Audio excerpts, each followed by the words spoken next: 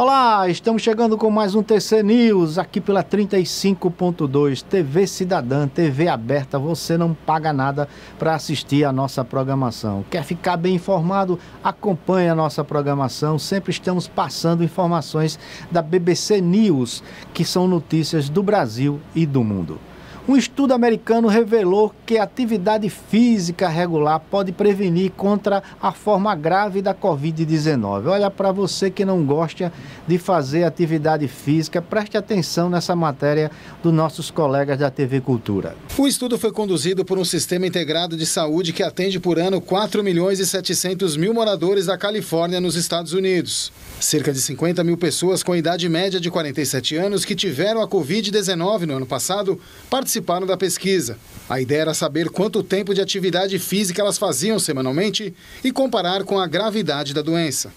Para isso, os californianos foram divididos em três grupos com base nas diretrizes de atividade física dos Estados Unidos. Os sedentários, que praticavam no máximo 10 minutos de alguma atividade, os que se exercitavam de 11 a 150 minutos, e os ativos, que se exercitavam por mais de 150 minutos. O estudo concluiu que os sedentários estão mais propensos à forma mais grave da doença. O sedentarismo aumenta as chances de hospitalização em 2,26 vezes e de óbitos em 2,5 vezes em comparação com quem pratica exercícios regulares. Já os que praticam alguma atividade física na semana têm 1,89 vezes mais chances de hospitalização do que os considerados ativos. A pessoa faz atividade física, ela terá uma chance melhor de resposta e de prevenção também. Existem situações extremas, se treinar demais ou se sobrecarregar demais, ele também ficar desprotegido, mas em suma, a atividade física é um bom, digamos assim, um bom coadjuvante tanto na prevenção quanto na resposta caso tenha doença. Os dados foram colhidos antes que as vacinas contra a Covid-19 estivessem disponíveis e não sugerem que os exercícios possam substituir a imunização. Além disso, a pesquisa não se aprofundou na possibilidade de o exercício reduzir o risco de contágio pelo novo coronavírus. Durante a pandemia, as academias pelo país ficaram fechadas por causa da proximidade física.